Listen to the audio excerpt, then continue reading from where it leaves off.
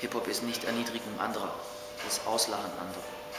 Hip-Hop ist aber auch Probleme anzusprechen und sich damit auseinanderzusetzen. Peace, Unity, Love and Having Fun heißt nicht, dass man immer seine Fresse halten muss, sondern sich auszutauschen und Leuten zu sagen, hey, Moment, du gibst es äh, nicht richtig weiter, du weißt nicht, wie es richtig gemacht wird, lass uns darüber reden oder man muss sich auch Sachen anhören. Niemand von uns ist allwissend, wir lernen alle, alle, wirklich alle, auch die, die denken, die, die sind, äh, keine Ahnung, super allwissend in Sachen Hip-Hop. Man kann viel wissen, aber keiner von uns weiß alles. Deswegen der Austausch muss immer am Leben sein. Ähm, und beim Austausch geht es auch gar nicht um Erniedrigung. Wenn eine junge Person, die 15 ist, zu mir kommt und mehr weiß, höre ich mir das gerne an. Ja, wenn ich merke, aha, die Person, die äh, sagt Dinge, die sehr interessant sind, höre ich mir das an. Ähm, man kann von jedem lernen. Man kann von jedem lernen. Nicht nur äh, denken, okay, ich bin ein Man und alle anderen. Und ein noch, also noch ein Problem, was ich ansprechen wollte, was ich denke, was ein Problem ist, in Deutschland oder sowohl auch in anderen Ländern ist. Aber ich rede jetzt erstmal von Deutschland, weil in Deutschland weiß ich hundertprozentig, was abgeht. Ich lebe hier, ich sehe es. Ich bin mittendrin. Das Problem, was ich sehe, ist, dass Leute aus Deutschland nicht geschätzt werden. Es gibt genug gute Deu deutsche Tänzer, ähm, die nicht geschätzt werden. Vor allem, wer von euch äh, New Schoolern kann mir 20 Leute, äh, Pioniere der Tanzszene, egal ob es regional ist oder deutschlandweit, aufzählen? Wer kennt denn noch die alte Generation ähm, von, den, von den die tragenden Säulen des deutschen Hip-Hop oder, oder B-Boying oder, oder, an sich Street Dance Arten meine ich. Ja. Wenn ich Hip-Hop meine, meine ich alle vier Elemente. Wer von euch kennt ihn noch? Warum sich nicht damit beschäftigen? Warum den Leuten nicht Respekt erweisen? Warum diese Leute nicht pushen, sondern andere aus fremden Ländern Tausende von Euros auszugeben, um sie herzubringen? Dabei haben wir solche Leute in Deutschland. Warum?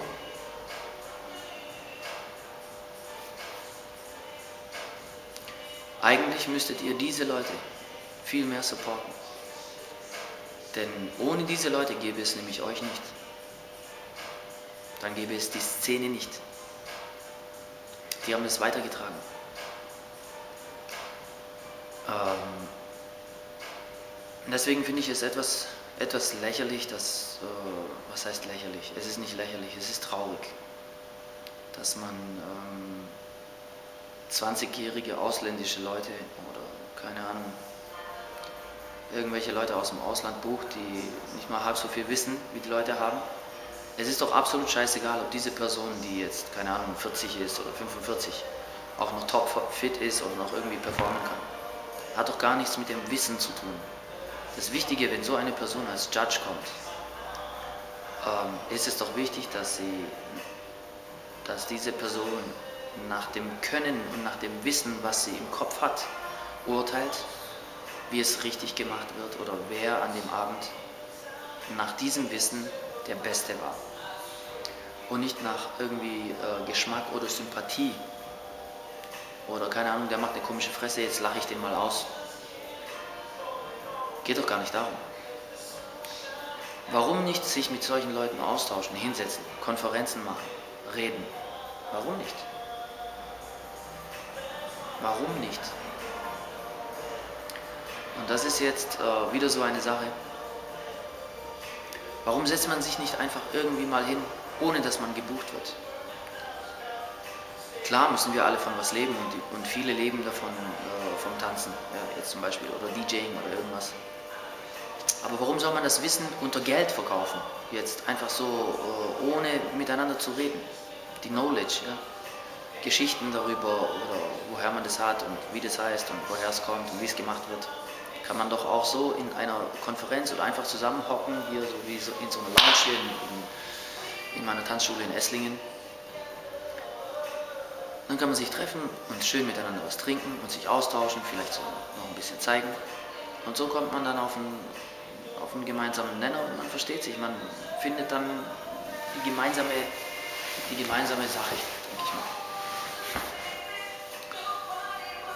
Denkt alle mal ein bisschen drüber nach. Ich denke, es ist so oder so genug schwer genug, um irgendwie das Ding auch am Leben zu, zu halten zu erhalten. Und zwar so, wie es eigentlich richtig gemacht werden sollte. Es wird immer Leute geben, die mit dem Finger auf andere zeigen. Na und? Die gehören einfach dazu zum Spiel. Aber wir dürfen diese Leute halt nicht für ernst nehmen. Die Liebe zum Tanz muss einfach größer sein. Warum beschwert ihr euch eigentlich über irgendwelche Judges? Wenn ihr schon im Voraus wisst, wer Judge ist, Erkundigt euch doch mal, wer ist es? Ihr schaut ihn, ihr schaut ihn an und seht, er kann sich bewegen, er moved, äh, kann sich gut bewegen, dann denkt er, er ist gleichzeitig ein guter Judge. Kein einer, der 19 oder 18 Jahre alt ist oder 22, der gerade drei oder vier Jahre tanzt, wirklich so gut bewerten? Schwer, sage ich, schwer. Aber dann habt ihr immer noch die freie Wahl. Mache ich mit oder mache ich nicht mit? Wenn ihr mitmacht, dann haltet danach den Mund, egal was passiert. Ihr könnt mit ihm diskutieren, mir eure Meinung sagen, aber nicht öffentlich rumkotzen, wer scheiße und dies und das und dies. Ihr habt doch gewusst, wer, wer in, der, in der Jury hockt, wer Juror ist. Also hilft das Motzen auch nicht. Müsst ihr dann einfach danach sagen, äh, das hat mir nicht gefallen, das hat mir nicht gefallen, bla bla bla. Ihr könnt die Meinung sagen, klar, aber nicht rummotzen und rumheulen wie so ein kleines Kind. So, man hat euch den Thron genommen oder was weiß ich was. Oder ein Spielzeug weggenommen. Ja. So fühlt sich das bei euch an. So. Und jetzt denkt jeder schlecht, weil ich verloren habe. Drauf geschissen. Das sind genug Leute, wo sehen, wie gut ihr eigentlich tanzt und wie viel Spaß ihr habt. Solange man die Leidenschaft und Liebe in eurem Gesicht sieht, die ihr spürt in eurem Herzen und euren Soul. Wenn man das sieht, dann seid ihr die besten Tänzer. Egal wie weit ihr bei einem Battle kommt, dann seid ihr die besten Tänzer. Das ist meine Meinung. Und solchen Leuten schaue ich gerne zu, egal was für Skills die machen.